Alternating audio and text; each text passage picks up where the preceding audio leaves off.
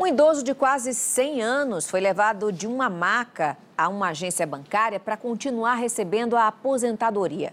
O flagrante foi aconte aconteceu no interior do Pará. Embaixo de chuva fina, o senhor de 98 anos é retirado da ambulância e levado de maca, mas não é para um hospital. Acompanhado pela mulher de 87 anos e a filha, seu João Protásio é conduzido até uma agência da Caixa de Bragança, nordeste do Pará. A gente pensou até que por ele ser acamado, é, eles poderiam né, facilitar, mandar alguém até lá com ele, porque quando é, o gerente disse que não poderia fazer isso, e quando a gente entrou, eles só pediram para eu ir lá no, com um atendente e mostrar a documentação. Não, ninguém veio olhar ele. O idoso tem dificuldades de locomoção. Os parentes contrataram a ambulância para levá-lo ao banco. O vídeo repercutiu nas redes sociais. Me sinto triste, sabe? Uma coisa dessa.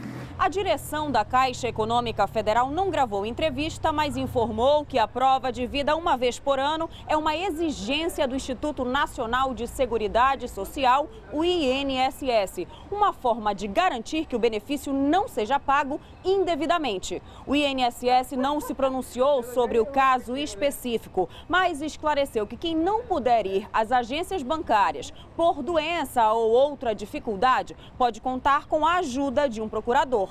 Informação que, segundo a presidente da Comissão de Defesa dos Direitos do Idoso da OAB no Pará, não deve ter sido repassada aos parentes do seu João. Se no primeiro momento fosse orientado que existia um modelo de procuração junto ao INSS, o idoso não passaria por essa situação humilhante, vexatória. Assim, deve ser apurado para verificar quem é o responsável. A família do seu João foi orientada a procurar a polícia. Eles dizem que tem tanto direito do, do Estatuto do Idoso, isso e aquilo, e na hora que a gente precisa não tem.